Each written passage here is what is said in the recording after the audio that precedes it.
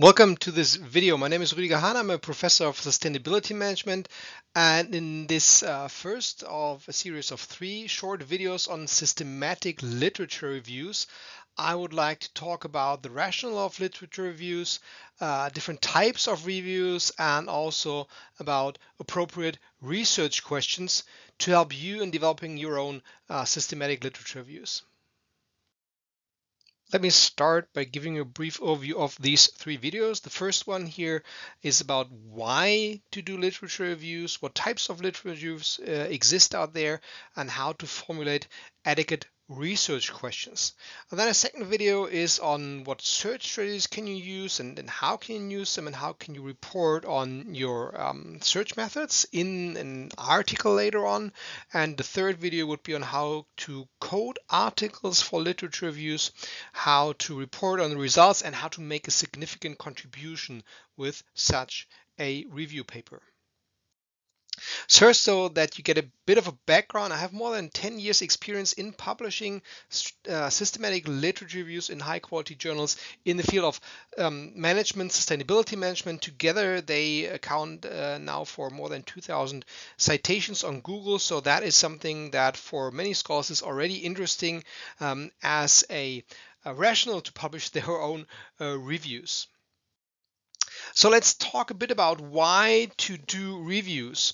Um, although I did publish quite a few of these systematic literature reviews um, quite successfully, I'd suggest that you do not start a systematic literature review with the aim to actually publish it, at least not in the first place. Uh, usually, uh, the starting point uh, for any literature review is that you want to identify a gap in the literature. Um, so, if you're, for example, a PhD student or also a graduate student who wants to uh, do the first steps for their projects, PhD projects or thesis or whatever, then some sort of literature review is usually often the um, yeah, natural first step in many of these uh, projects. And at that point of time, it does not much extra work. You have to do it anyway, so you can do it in a structured and systematic way, which usually adds a bit of work in the beginning beginning, but it gives you some options later on. However, I'd suggest that the like the aim of publishing later on this review should not be your guiding principle, your guiding idea at that point of time because it's quite time consuming and the chances of failure are rather high.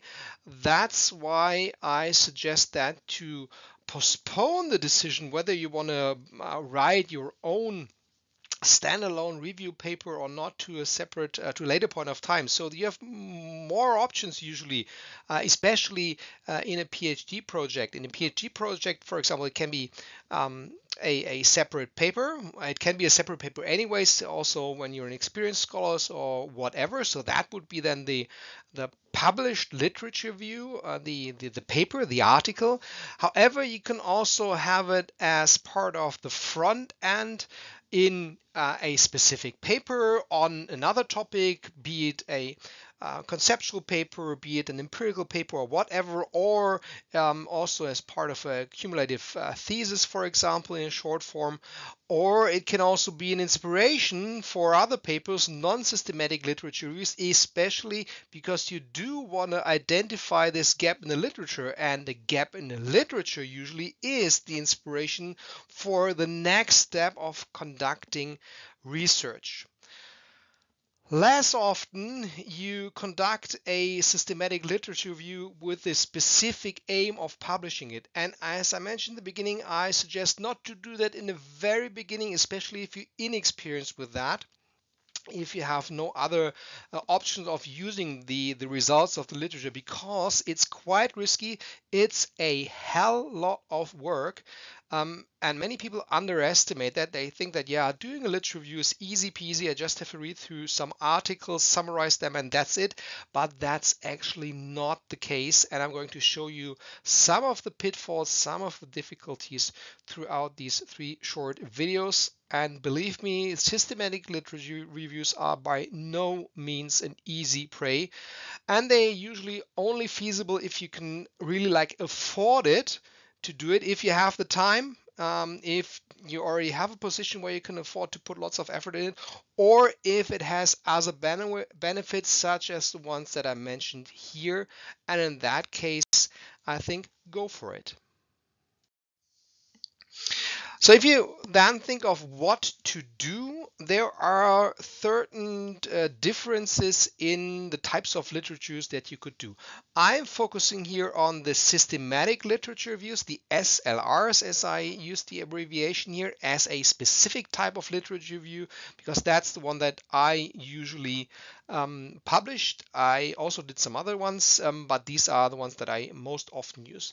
But let's start here with the left hand side to get an overview of the entire breadth here. And I don't claim that this is the full picture, but it gives you a good idea, I guess. So we start here on the left hand side uh, with a rather small n, so just a few papers that you analyzed, and that uh, you find mostly in so called narrative reviews. Um, often there is no predetermined research question and also not no specific research strategy for these reviews. Um, rather small body of literature. And from my own experience, you find them less often in the last couple of years than you found them before, um, because nowadays people tend to move towards um, more of the left side here. Uh, sorry, more of the right side here of this figure. Uh, then let's go to the other extreme here, that would be the right hand side, and that is focusing on a very large N. Uh, quite a few papers, many, many papers, usually a, a couple of hundred papers, sometimes even more. With so many papers to analyze, you usually do not focus too much on the specific content of these um, papers, but rather on other elements such as um, um, combinations of knowledge, how do um, areas of knowledge relate, how are citations relating to each other, and so on. And that's something that you usually do in bibliometric analysis, citation analysis, and sometimes also uh, computational literature reviews uh, can be found even with the help of AI nowadays. Um, and I have some um, ideas of first references that you could look at um, specifically from the field here um, of management, but this, uh, certainly also applicable to other fields of science uh, if you're interested in that. And then finally, the middle part here, that's the so-called um, meta-analysis or uh, uh, systematic literature reviews, uh, like totally different, but they uh, uh, have something in common, which is that they usually focus on a kind of a medium uh, level of, um, um, in terms of the number of literature um, articles that you have a look at. Often it's around 50 to 250 somehow um, they usually have a systematic approach how they identify the literature. That's what I'm talking about in the uh, second video of this series. And you can either go for a quantitative analysis or a qualitative analysis, usually actually focusing on the content of the respective um, papers that you're analyzing. With meta-analysis, you usually do a quantitative analysis of um, relationships. So what influence does A have on B? And if you have a body of um, different analysis that or different papers that um, have a look at this relationship, then you can do a statistic meta-analysis um, and come up with your aggregated findings on such questions. Um, systematic literatures are different. They are also focusing on content, but they are usually more qualitative in terms of they're looking at different findings, try to find um, gaps in the literature um, or focus areas in the literature, focus on theory or something like that. If you're interested in the meta-analysis, then you can have a look especially at these here as a first. There are many others out there as well um, in terms of articles that might be helpful for you, method articles, but that is the first shot. And here, these might be relevant for you if you're looking at uh, systematic literature reviews. As I said in the other um, video, I'm also talking about how to identify relevant literature, and that is actually relevant for both meta-analysis and systematic literature reviews, and it might also be relevant for bibliometric analysis, citations, or computational ones. So that is a video that you might want to look if any of these is interesting for you. And then, uh, and that is uh, my final slide here already in this short video, uh, that would be on how to formulate a research question that actually focuses the literature so that's suitable for a systematic literature review. And I'd like to first talk about what uh, would not be a suitable research question. For example, you usually don't ask what is the relationship between A and B. That is not a research question that is suitable for literature reviews because you are uh, not doing an empirical analysis, but you're doing a literature review. Such kind of research question on the relationship between A and B would be suitable for empirical studies, quantitative studies, um, uh, experiments, or whatever. And they might also be relevant for the meta analysis that I mentioned before, which is kind of a uh, qualitative analysis of different types of studies on such relationships. So that would be something that you use there, but not for systematic literature reviews.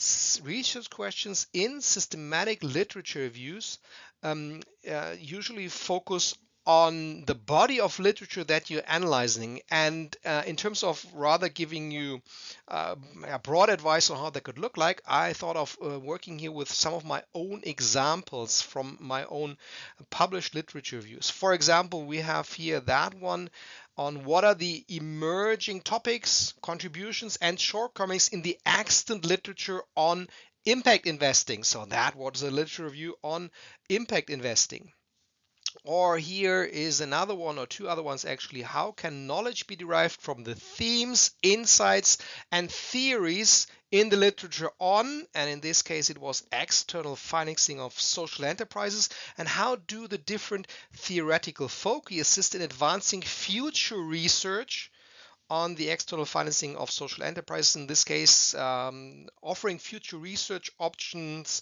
is something that you find very often in uh, literature reviews as a uh, as a contribution, and that's what I'm talking about in the third video.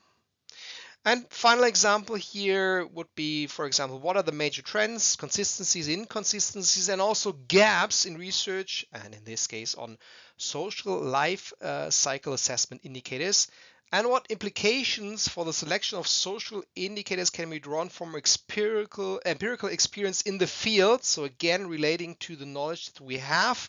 This is why a literature review was conducted um, for that specific research question as well. So I hope this gives you a bit of an idea of how you can phrase research questions appropriately for literature reviews.